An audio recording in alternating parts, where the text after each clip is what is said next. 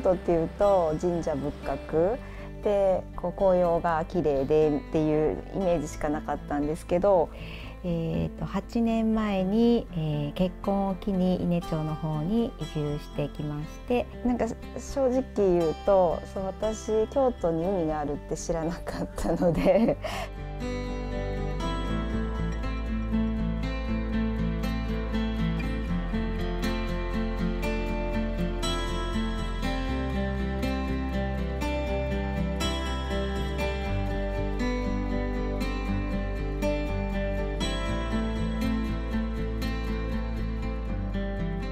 私はこの船屋で生まれ育ってえ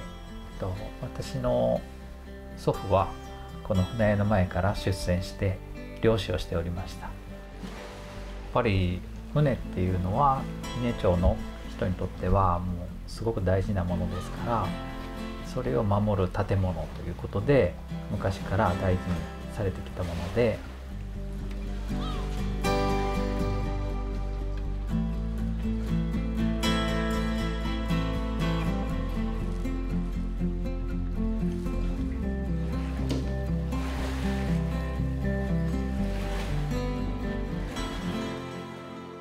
じゃあ行きましょうか。お願いします。どうぞ。や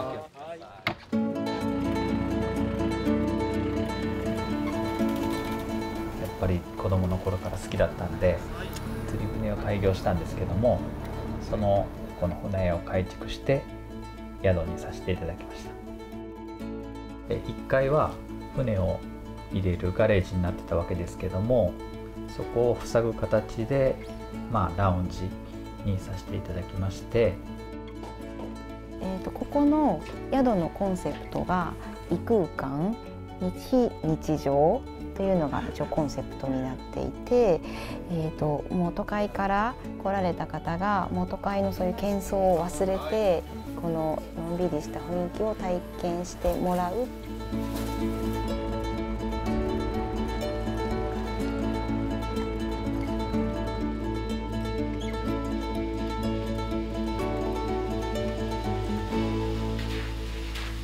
私はあの家が酒蔵だったんで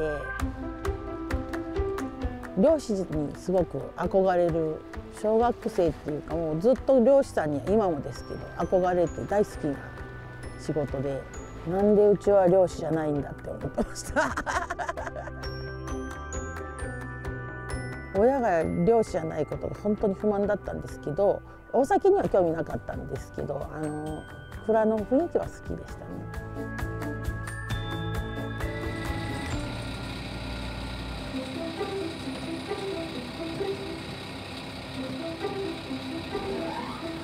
当時になるつもりはなかったんですけど、まあ、ただまあ父が2年目帰って2年目の時に町長になることになったんでそれで代わりに私が当時になった伊根町にそういう珍しい女性当時が誕生したっていうのはやっぱ役場とかの人とか、まあ、地元の人も喜んでくれて、まあ、人に紹介する時に女の子が作ったんだっていうような感じで紹介はよくしてもらってたんで。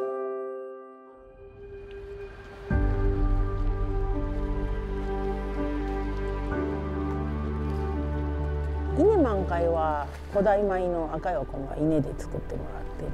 お米だったり環境といったらやっぱ海がそばなんで海から来る塩分っていうのはその酵母の栄養素にもなるんで発酵がすごい強い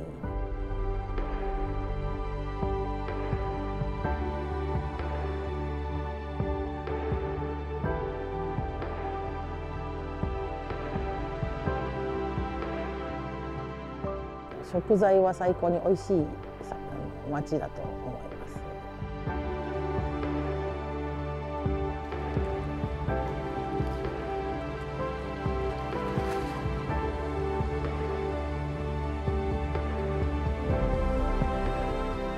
海産物お魚は山が近いのであの山から土が流れてきてあのすごいミネラル栄養分がすごく豊富なんですね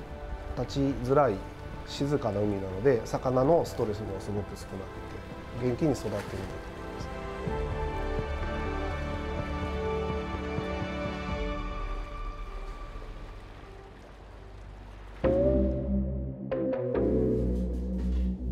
ちょうどね日本の真ん中日本列島真ん中になるんであの北からも南からも海流流れてくるんで何でもおりますね 何でもはい。私のお店で提供してるお魚はうん朝漁師さんが水揚げしてくれたお魚をそのままお店に持ってきてもらって早いとお昼に提供してますその日取れたお魚を目の前の海で、えー景色を眺めていただきながら食べていただいて新鮮なお魚っていうのを味わって帰っていただきたいですね。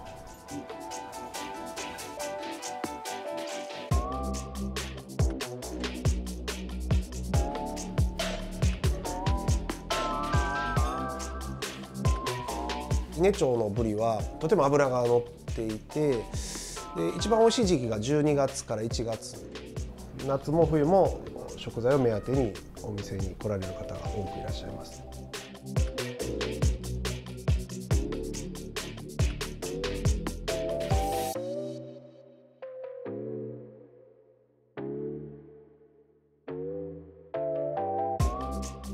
スーパーもコンビニエンスストアもマクドナルドも何も揃わない街なんですけれどもそれ以上に、